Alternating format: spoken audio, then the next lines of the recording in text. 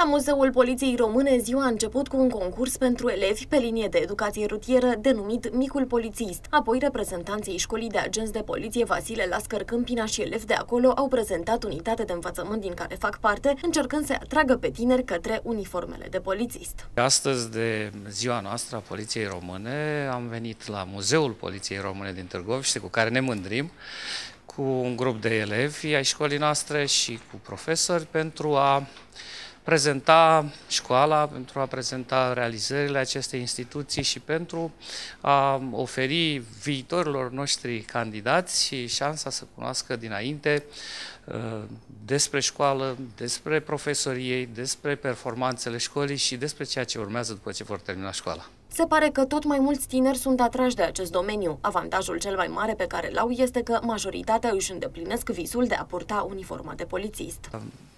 Eu cred că din ce în ce mai mulți, pentru că instituția poliției este o instituție democratică uh, în care au intrat tineri dornici de afirmare uh, bine pregătiți, uh, condițiile sunt din cele mai bune și după absolvire noi sperăm că vor fi polițiști de nădejde care să fie în serviciul public. Muzeul Poliției Române a găzduit și o expoziție foto denumită Tradiție și Educație în Ministerul Afacerilor Interne. La toate aceste activități a fost parteneră Biblioteca Județeană Ion Heliad Rădulescu Dâmbovița.